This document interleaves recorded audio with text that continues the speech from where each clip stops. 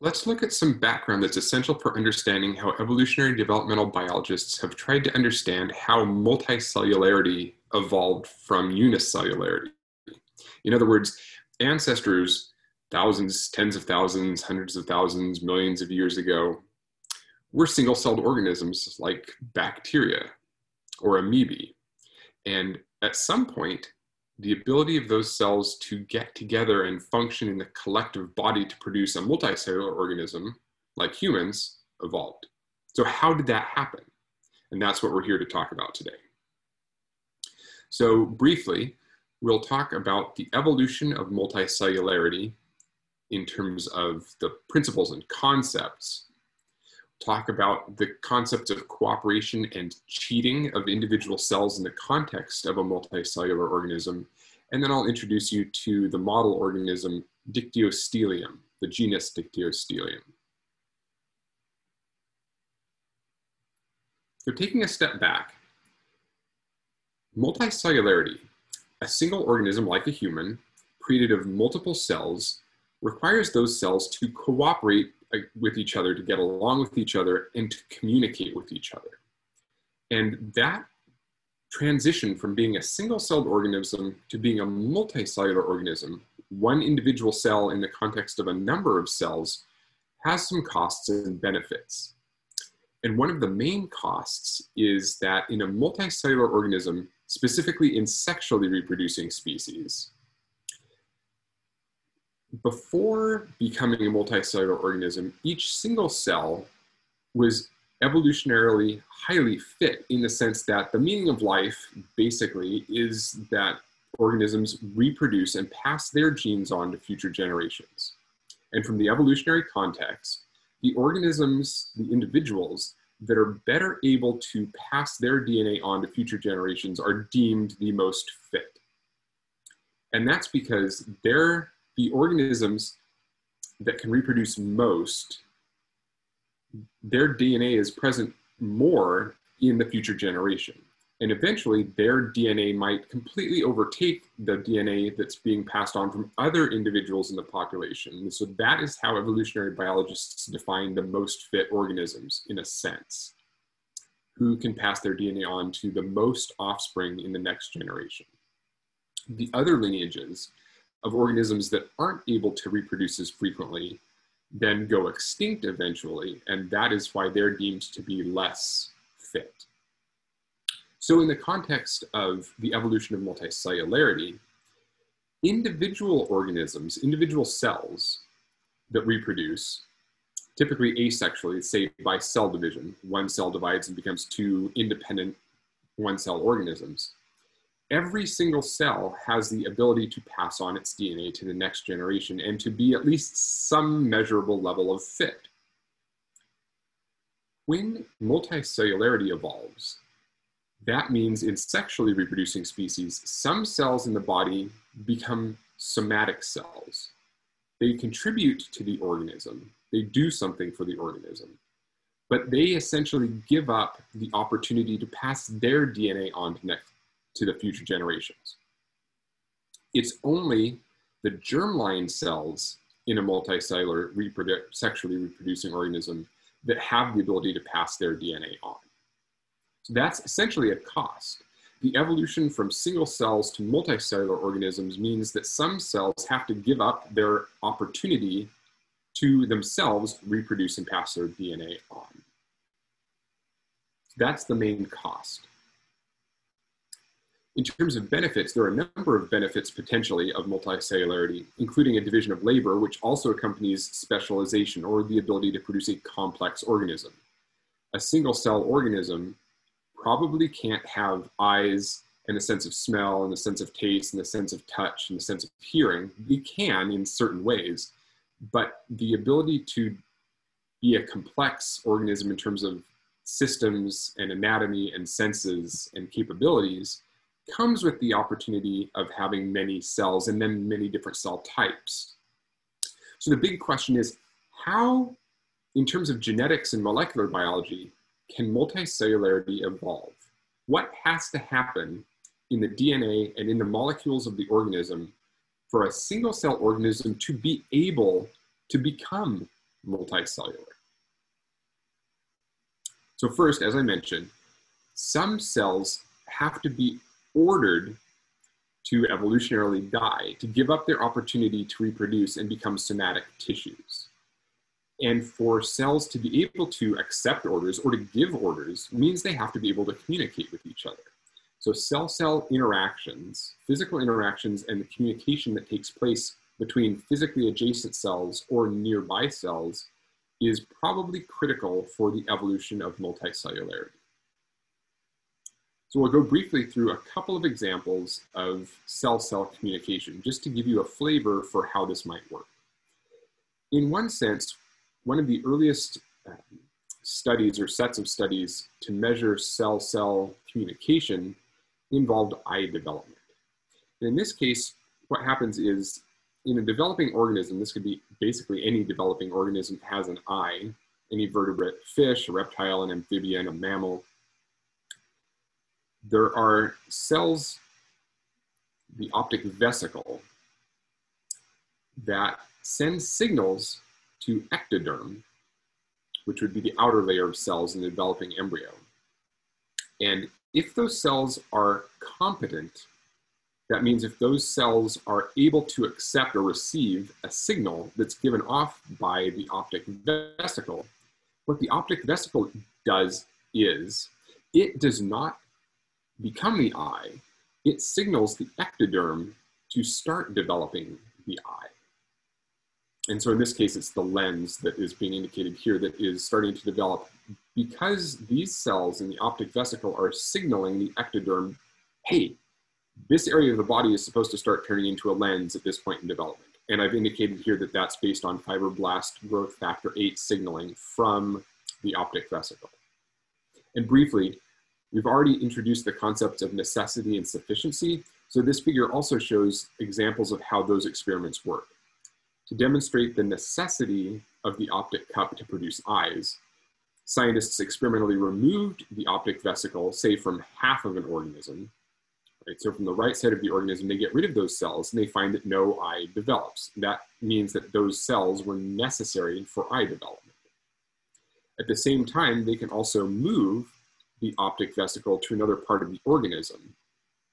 And although this does not show that the optic vesicle is sufficient, this particular experiment showed that if you move the optic vesicle somewhere else in a developing embryo, that doesn't necessarily cause eye development because, so the optic vesicle isn't sufficient because the ectoderm, the cells that are being signaled to by the optic vesicle, have to be competent. Those cells have to be able to receive that FGF8 signal.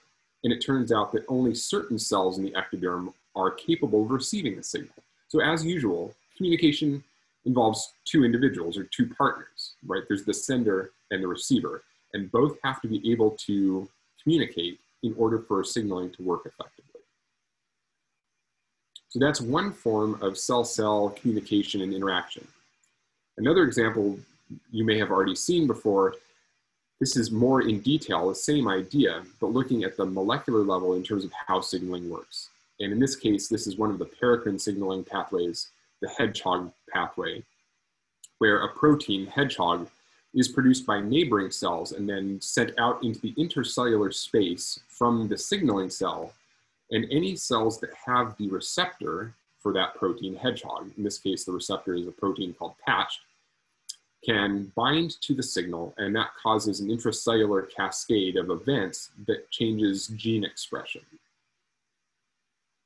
So, in the evolution of multicellularity from single-celled organisms, a lot of changes have to take place in that single cell. It has to evolve the abilities to either send signals to other cell, cells and or it also has to start having proteins expressed that receive signals from other cells and translate those signals into things like changes in gene expression. So it is really hard to imagine, although it, it's true that multicellularity did evolve, it's really hard to imagine the vast number of changes that would have to take place for a single cell organism to evolve the ability to communicate to other cells, to send signals to them, to receive signals, and to respond appropriately.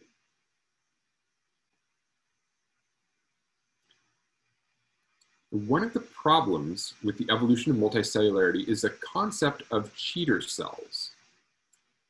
And that's the concept that in a multicellular organism, some cells, well, all cells presumably benefit from being part of the whole organism. But what happens if some mutations in particular cells allow them to receive that benefit because they are part of the body of the organism, but that remove their ability to contribute to the organism? They become essentially parasitic cells. They don't do anything useful for the organism, but they still benefit from the organism, maybe to its detriment, in fact, which is why I refer to them as parasitic cells. And based on some theory work in the field, the prediction is that in asexually reproducing populations, cheating cells can proliferate. Once one arises, it will spread through a population when it reproduces asexually. So that's an important thing to keep in mind for the study that we're going to talk about. Now, in terms of research difficulties, in terms of measuring and testing what are the genetic changes that allow the evolution of multicellularity, a problem in studying cheating cells and their role in the process is that any mutations that generate cheating cells tend to be lethal, sort of by definition that if you want to study cheating, you have to find a system in which you can have cheating cells in an organism that actually allow the organism still to survive so you can actually study the organism and the effects of those cheating cells.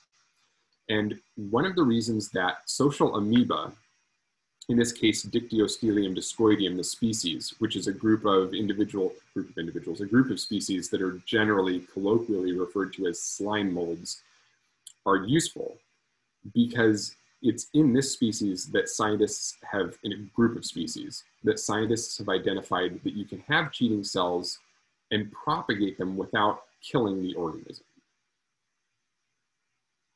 Let's talk about uh, slime molds and Dictyostelium in particular. So this is a very diverse group of species. And these slime molds, including Dictyostelium, are typically single cell amoebas or amoebae. It's Latin, so amoeba is feminine, singular, amoebae, AE at the end is feminine, plural. Those individual amoeba will aggregate together into larger groups, which are what you see in these pictures, under particular conditions, typically high density and starvation conditions. So on their own, the amoebas crawl around on surfaces and eat bacteria, essentially. They engulf them and use the bacteria as energy sources.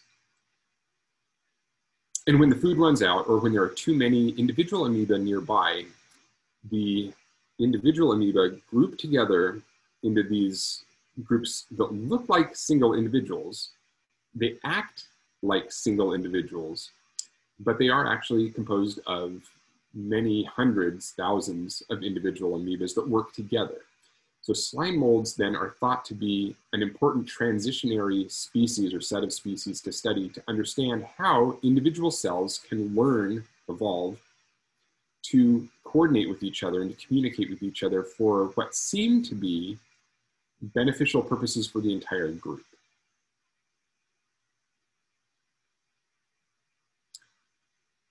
I mentioned that Typically, there's a single cell stage where individual cells are called amoeba and they act as individual cells. They move independently, they engulf bacteria, their food.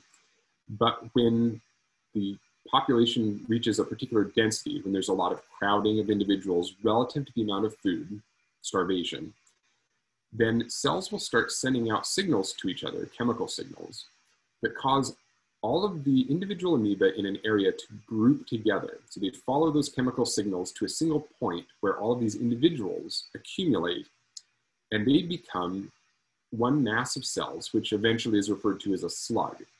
And that slug moves around the substrate as a group. All these individual cells act together to migrate, essentially. It seems like the purpose of the slug is to move somewhere where there might be more food. And if the slug at some point doesn't find any food, then the slug will basically turn into a blob. That blob will extend a fruiting body to the tip of what's referred to as a stalk. So a number of these cells turn into this structure that holds aloft up in the air cells that turn into spores. You know, hardy, long-lived spores that can be dispersed. So for example, one thought is that the stalk is important to lift the spores up high enough that they might be caught by the wind or by a passing insect or something else that will distribute them somewhere else where there might be more food. And those individual spores then can turn back into our amoeba. When they land, if there's food, they turn back into amoeba, they eat the bacteria and the life cycle repeats. So in a single, basically developmental cycle, we go from individuals, individual cells that act as individuals, to a multicellular organism that turns back into single cells. This is the system that authors use in part to study what happens if cheating cells evolve in this population of amoeba.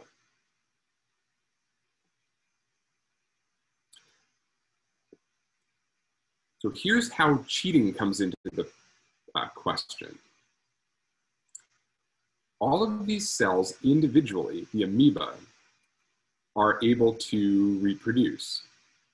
But when starvation occurs and the stalk and the spores, the, the cup at the top of the stalk, are formed, all of these amoeba that form the stalk are essentially giving up their ability to reproduce somehow these cells are convinced that they should be somewhat like somatic tissues, that they are supporting cells and they essentially evolutionarily die. They give up their right to reproduce and pass their DNA on. It's only the cells that climb all the way up to the top that become spores that are going to be evolutionary, evolutionarily successful and pass their DNA on to future generations of cells. So this is the real question is how does this process work? How is it, what sort of signaling is going on between cells that can convince some of the cells to become stalk cells, differentiate, in other words, is the big question. How does cellular differentiation work here so that some cells become uh, spores and other cells become stalk and somatic cells? So a few of the events that probably need to happen in slime molds in this transition from individual amoeba way in the past to what we have at present, which is where individual amoeba are individuals, but now they're able to communicate with each other to form things like this slug. One of the things that would probably have to evolve is the ability for individual amoeba to produce that cellular signal, cyclic AMP, when there's high density, low nutrient conditions. So there has to be the evolution of signaling. There also has to be then the evolution of other amoeba being able to respond to cyclic AMP signals to allow all of those individual amoeba to congregate together to form a slug. So then other probable transitionary uh, events would include the cells being able to adhere to each other. So there's probably some gene expression and protein expression changes that allow those individual cells, hundreds or thousands of them shown here, in what acts like an individual, but is really a mixture of, again, hundreds or thousands of individual amoebae working together, they have to stick together.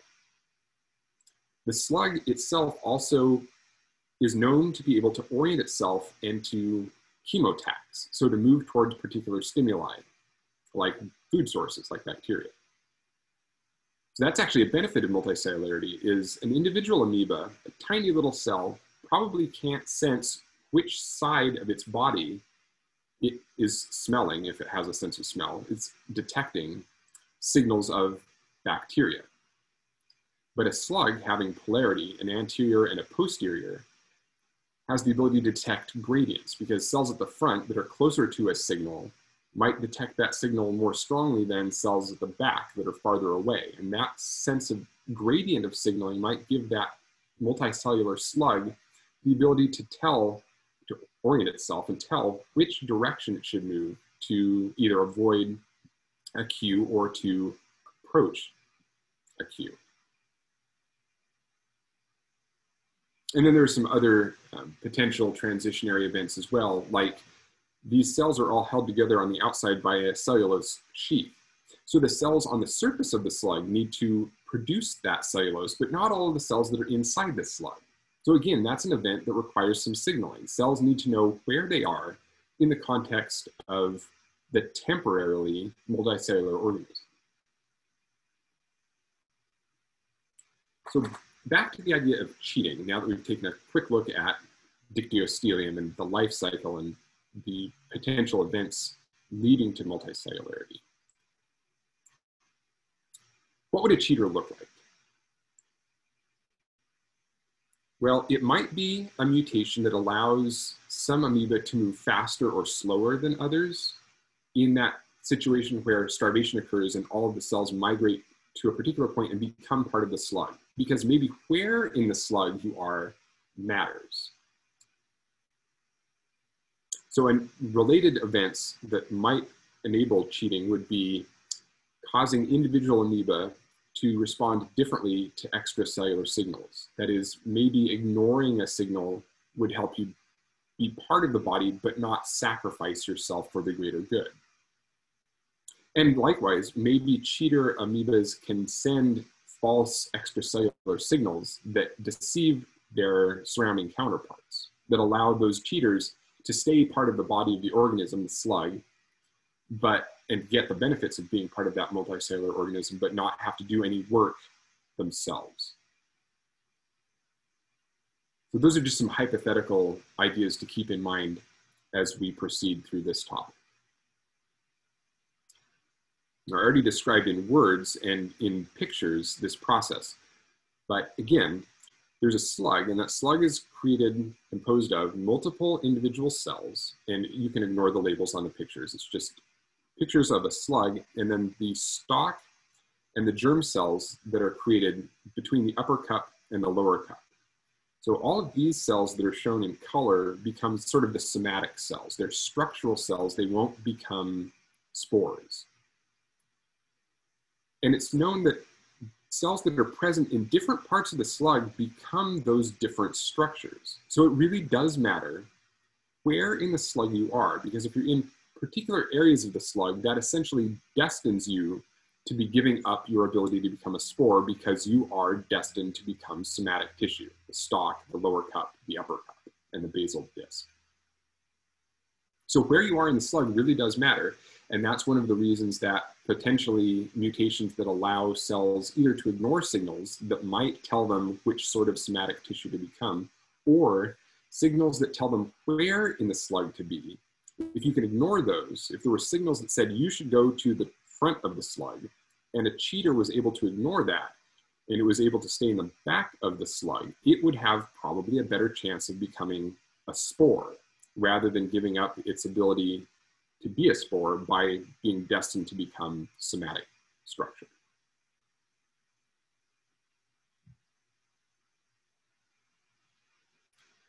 So aside from the fact that Dictyostelium has this single cell and multi-cell aspect to its life cycle, it's also useful likewise because it alternates between clonal reproduction and sexual reproduction.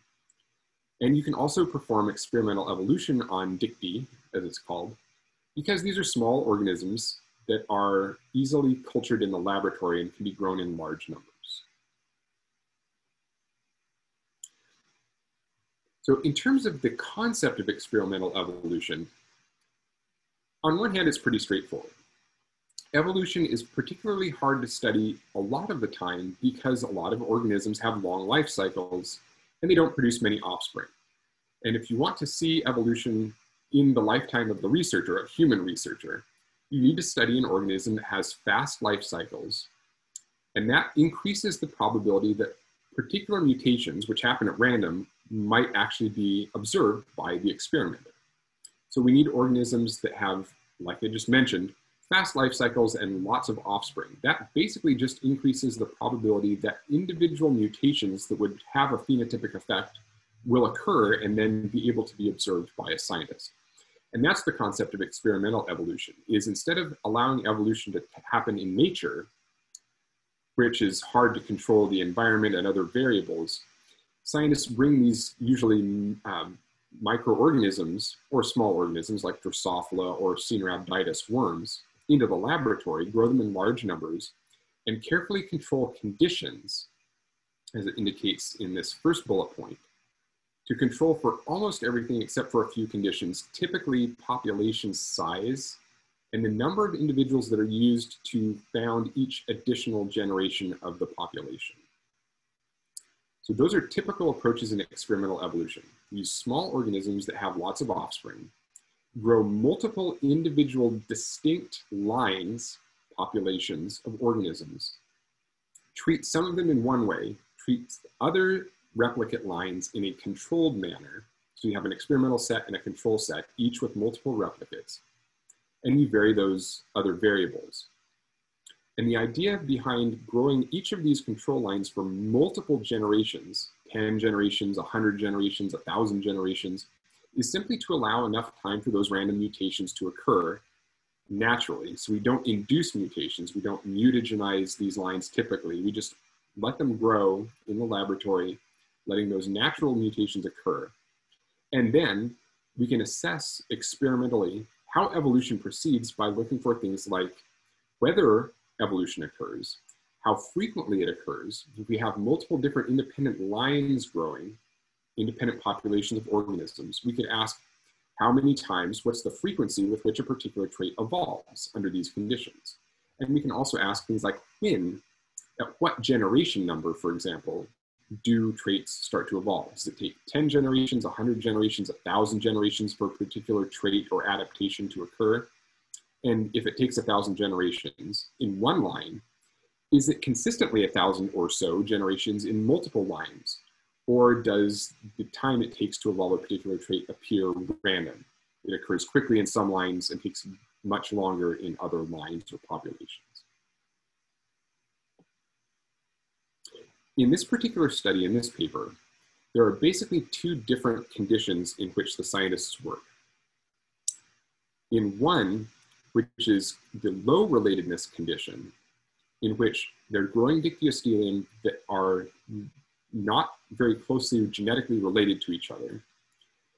That low relatedness condition is caused by uh, having a large population size. So growing lots and lots and lots and lots of dictyostelium in the same petri dish, in the same location. And when that happens, even though all of those dictyostelium originate from a single celled ancestor who replicates and replicates and replicates and creates the large population, the fact that the dictyostelium are growing in the context of a large population means that because there are many generations of growth from the single ancestor to a large population, all of the individual dictyostelium amoebae at generation 20, let's say, aren't actually that genetically related to each other because they have an ancestor 20 or 30 or 40 generations back in their lineage.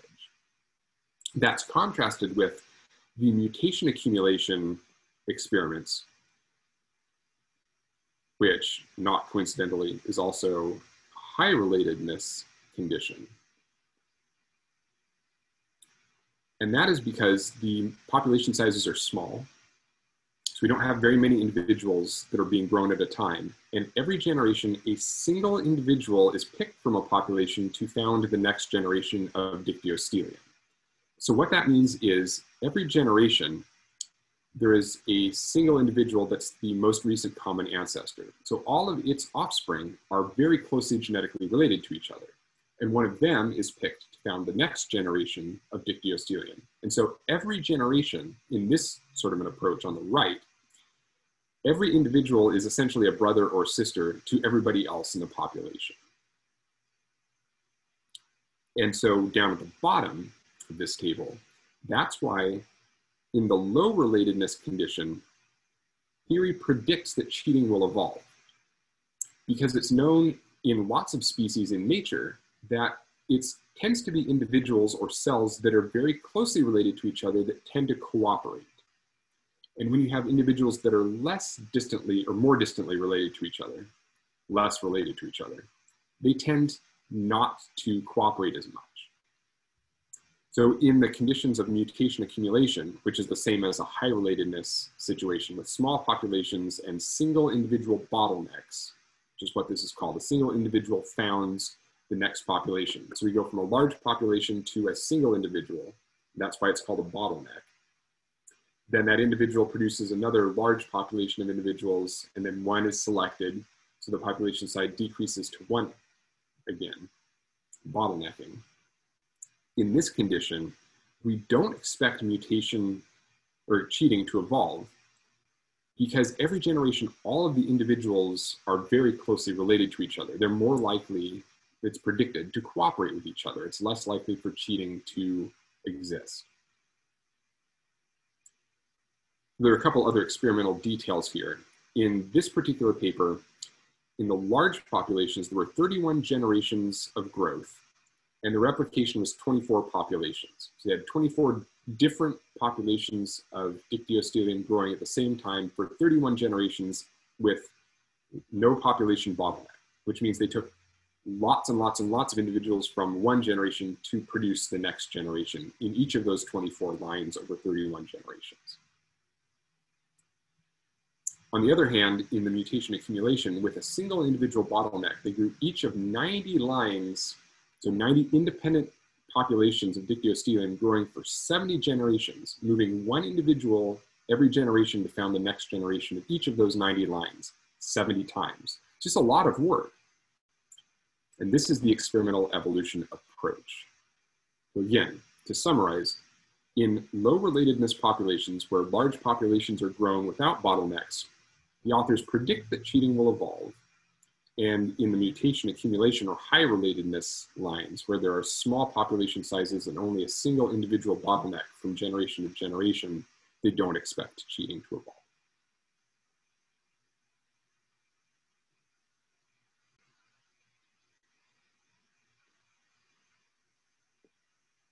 So in that low relatedness population, we have a large number of individuals in generation one, and a large number of them are used to found the next generation. So in generation two, those are the initial individuals, and then over time, they reproduce to produce another large population. And then a large number of those are passaged to generate the third generation, and over time, those individuals reproduce, and so on. So that's what's happening in the low relatedness population.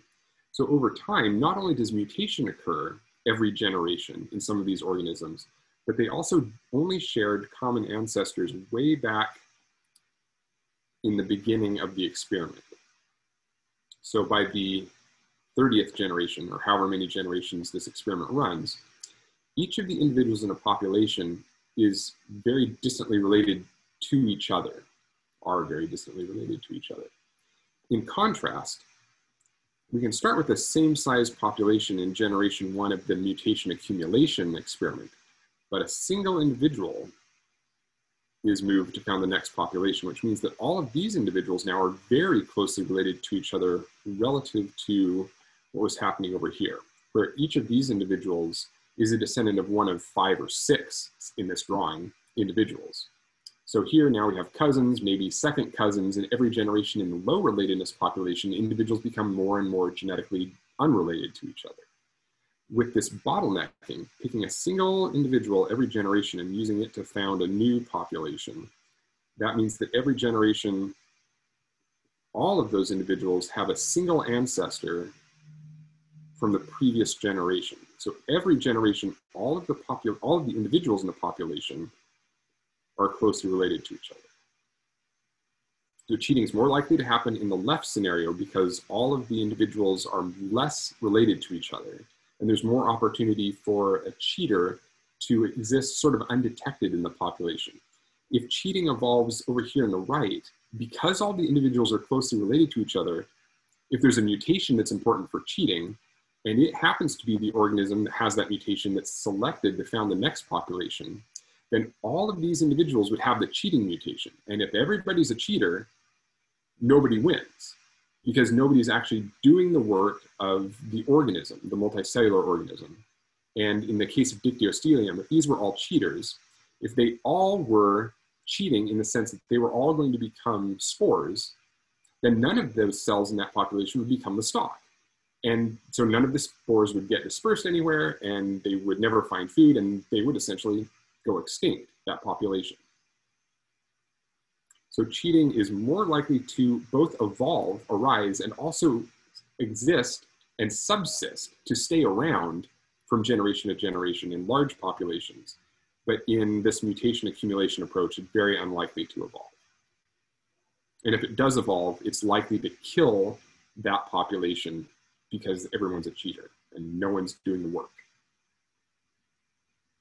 So the way that the authors can tell if they have experimentally evolved a cheating line or found a cheating individual in a population is they take, this is another power of Dictyostelium, is you can grow the original population. You can just keep it growing without undergoing either of these two experimental conditions, the large population size or the small population size experimental and control conditions. So you have the ancestor maybe frozen in a freezer, so it's not evolving itself, it's just in stasis waiting for you to do this sort of analysis that the authors do. They take the ancestor, the pre-experimental evolution original amoebas, they take 50% of those originals and they mix an equal number of cells from one of the experimentally evolved strains. So they mix them together, they put them on a petri dish. And then when those populations of amoeba starve and they produce the fruiting bodies, then the authors simply collect the spores and they ask if, like the original population of individual amoebas, when you look at the spore, when you look at the fruiting body and which cells became the cells that were chosen to go on to found the next generation are is the same ratio 50-50 ancestral cells and experimentally evolved cells found in the spores if it's exactly the same then there's been no evolution there are no cheaters if among the spores there are more of the experimentally evolved cells than the ancestral cells that means that that experimental evolution process evolved cheaters somehow they are cheating their way into becoming spores. They're more represented than the ancestors were in this 50-50 mixture. On the other hand, you could also have the situation where the experimentally evolved cells are found less frequently in the spores than are the ancestral cells. And if that's the case, then the experimentally evolved cells have evolved to be cheated. And the ancestor is the cheater. So to draw that out, we can have some ancestral amoebas, and we can have the experimentally evolved amoebas. So with time going left to right, when there's no cheating, initially the authors mixed together, let's say, eight ancestral cells that had not undergone the experimental evolution process. These were the starting cells for experimental evolution. And they also add in eight, I think that was eight, maybe nine, who knows, equal number of the experimentally evolved cells. And then they let them starve and they'll produce the stalk and the cup. And the authors look in the spores and they want to see if they're an equal number. So here I'm just drawing four and four an equal number that's representative of the original mixture of cells have become spores. And so then the other four of each of those cells have given up their ability to become spores and they become stalk cells.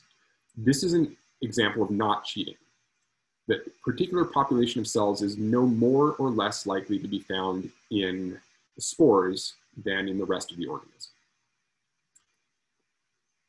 if experimental evolution has led to cheating, we start with the same mixture, 50-50, half blue, half black, half experimentally evolved, half ancestral.